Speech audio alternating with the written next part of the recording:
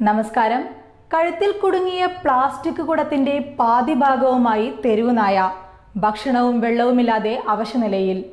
Kuttippuram traffic junction സമീപം കഴുത്തിൽ കുടുങ്ങിയ പ്ലാസ്റ്റിക് കുടത്തിന്റെ അവശിഷ്ടമായി അലയുന്ന തെരുവുനായ കണ്ടു നിൽക്കുന്നവരുടെയും മനസ്സു ലോക്ക്ഡൌൺ സമയത്തെപ്പോഴോ ഭക്ഷണം കിട്ടാതെ വിഷപ്പകറ്റാൻ വെള്ളത്തിനായി കുടത്തിലേക്ക് തലയിട്ടതാകാം. കുടം കഴുത്തിൽ കുടുങ്ങി. കുറെ ദിവസം അലയുകയും ഒടുവിൽ നാട്ടുകാരിൽ ആരോ ഒരാൾ കുടത്തിന്റെ കുറച്ചു ഭാഗം പൊട്ടിച്ചു കൊടുക്കുകയും ചെയ്തു.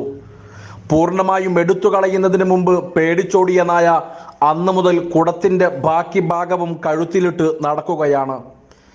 നായയുടെ കഴുത്തിലും മറ്റു ഭാഗങ്ങളിലും മുറിവ് വന്ന് വ്രണങ്ങൾ രൂപപ്പെട്ട് തുടങ്ങിയിട്ടുണ്ട്.